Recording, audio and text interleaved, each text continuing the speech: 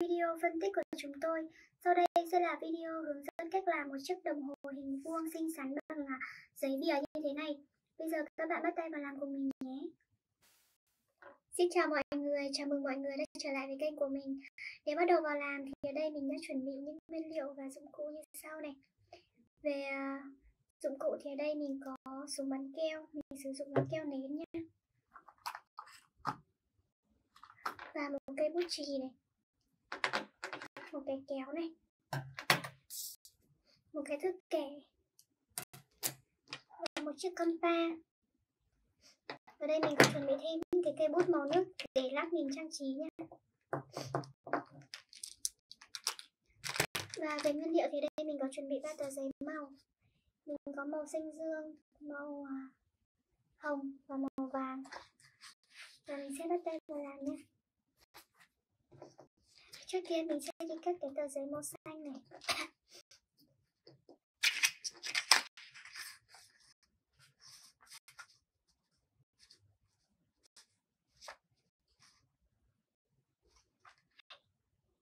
Đối với tờ giấy màu xanh này, bây giờ mình sẽ vẽ ra một hình vuông.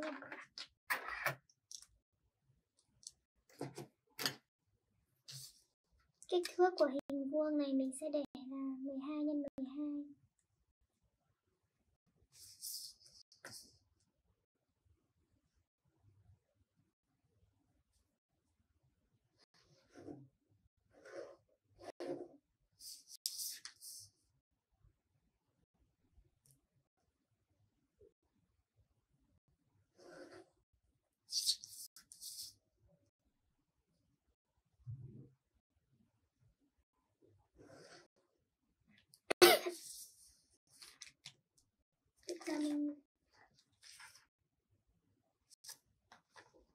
sẽ cắt cái hình vuông này ra nhé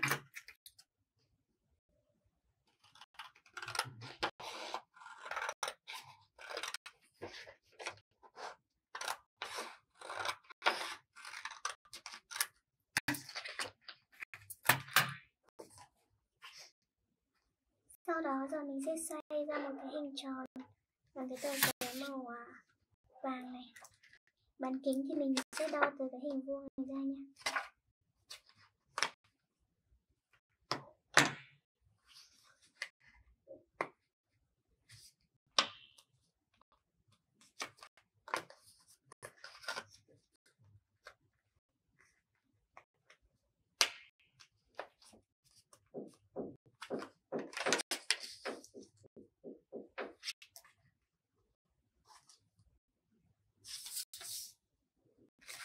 Mình sẽ xoay ra đây một hình tròn.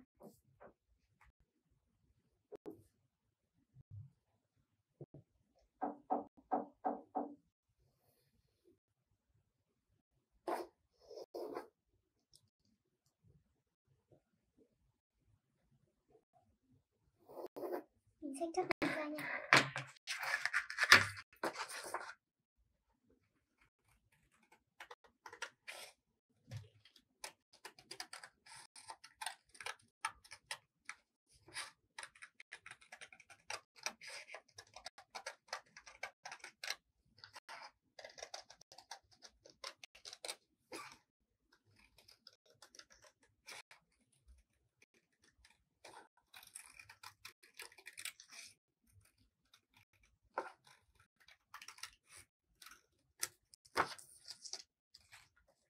Giờ mình sẽ dán lên cái phần hình vuông màu xanh nha.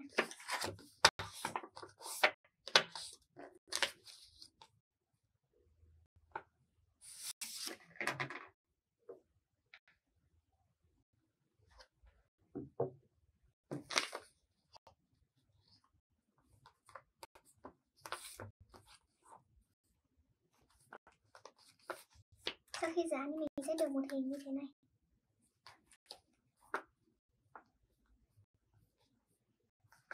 Tiếp theo, mình sẽ sử dụng đến cái tờ giấy màu hồng này.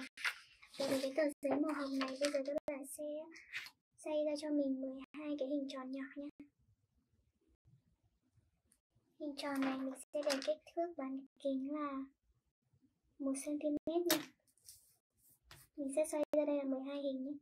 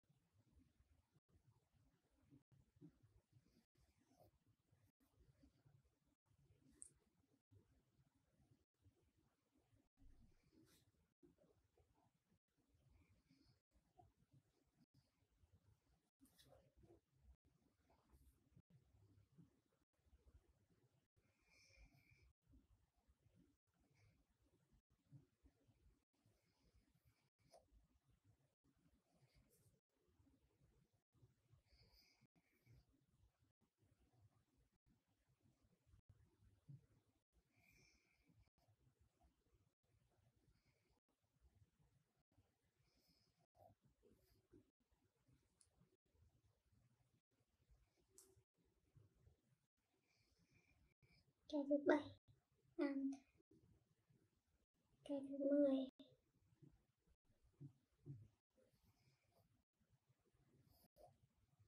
Mười một này. Và mười hai như vậy là mình đã xoay xong. Và mình sẽ cắt ra nha. Và mình sẽ tách nó ra này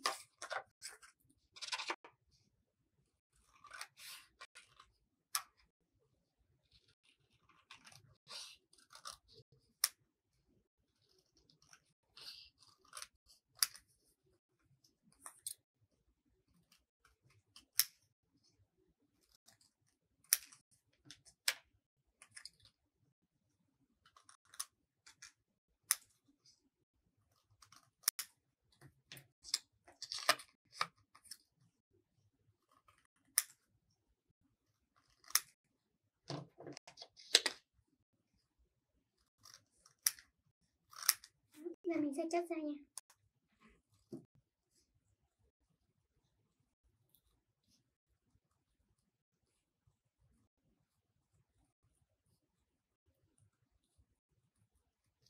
Cái thứ hai này.